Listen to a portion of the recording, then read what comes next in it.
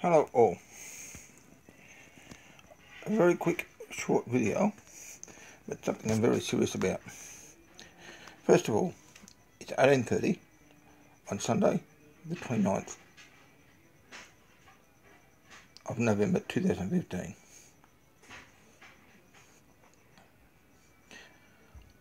On October the 19th, 2015, a draft bill prepared in 2013 for changes to the Anti-Discrimination Act was put forth to New South Wales Parliament. And uh, David Shoebridge was one of the one of the committee members with other politicians.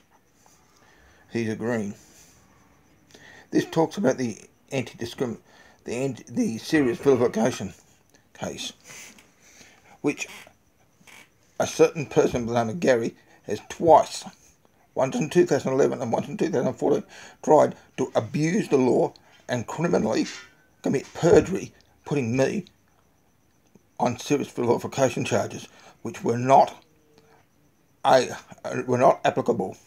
They had to go to the Attorney General and didn't get through. If these recommendations are made, it would create a lot of problems, a lot of problems, because the Attorney General's taken out, will go straight to the DPP, and the anti-discrimination manager Stephen Kirkshan could then put it straight to the police. That is not needed. This man is committing skullduggery, committing perjury, and open lies against me. I am dead against this. I have read the bill. It's been put forth, and I'm going to lobby against it and a lobby against the, the Blinton Green politician David Shoebridge, which has actually went to my case of October the 12th, of November the 12th, 2015, to try and get information. This is pure skullduggery.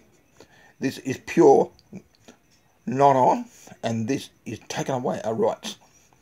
So that man taking me to court is a liar, he's a perjurer, and he's open blatant law enforcement.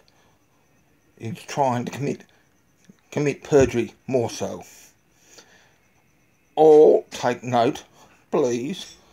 I'm putting a bill online on my blog with this YouTube. And I'd like the whole of Sydney, New South Wales and Australia to read this. This is the sort of skullduggery that the Greens and those who, who back same-sex marriage put against those to speak against.